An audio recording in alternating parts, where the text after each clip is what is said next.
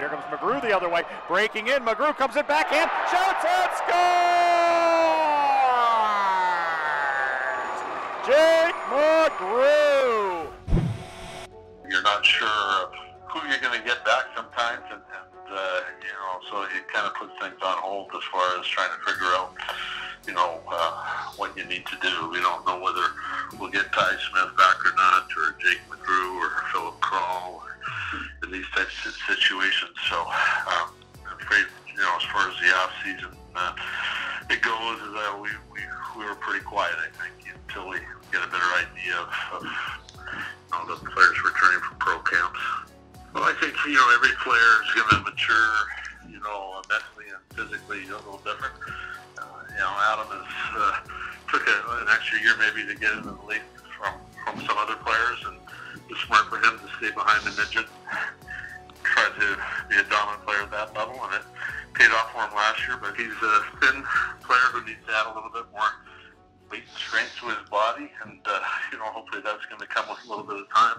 As I said, some of them will will uh, physically mature a little bit quicker. We got a kid like Jack Finley who came in at 16 that's well over 200 pounds, and Adam's like 165. So, uh, like I said, uh, as he starts to, to gain some of that strength, I think it's going to help his game overall as far as getting to the, the pro hockey level. But uh, certainly, uh, he's the kind of kid who is going to be able to mature, you know, as far as a hockey player, get an opportunity to play in the top six uh, all the time. And, uh, you know, he's certainly got the, the game to, to be able to be a dominant player in the Western Hockey League. And we expect big things out of him this year.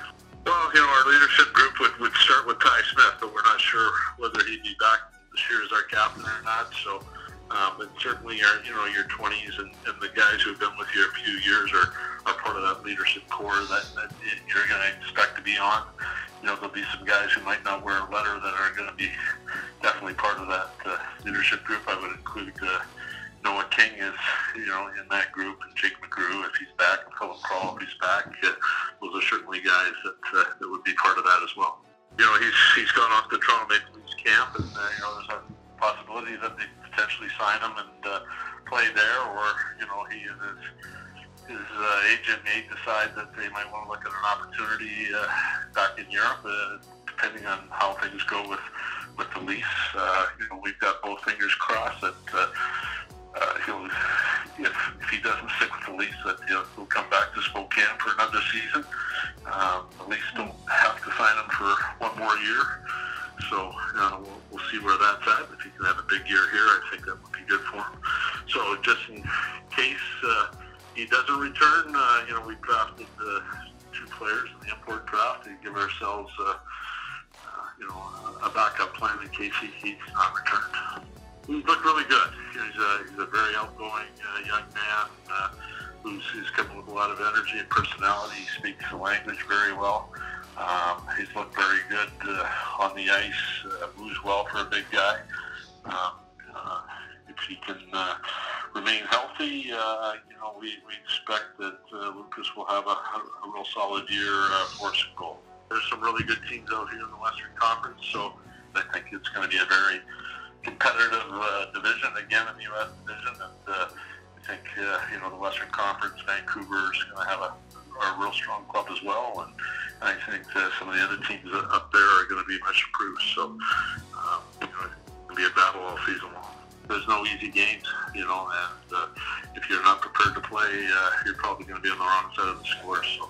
Uh, Portland uh, looks like they've got a, a lot of good young talent uh, coming. And, you know, Everett's very well coached. Seattle and Tri Cities work hard every night. So, um, like I said, it's a tough division to be in. It has been for the last few years. I don't expect anything different.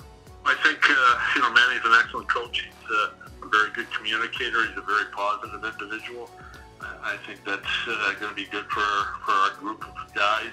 You know, we've got a lot of changes here this year as far as you know our coaching staff and and uh, some of the, our assistant GMs new and our goalie coaches. So uh, it might take a little bit of time for our group to adapt to a new new system and new people around it. But uh, I think once uh, they get uh, used to, to, to Manny and the group style, I think uh, he'll uh, do a great job for us.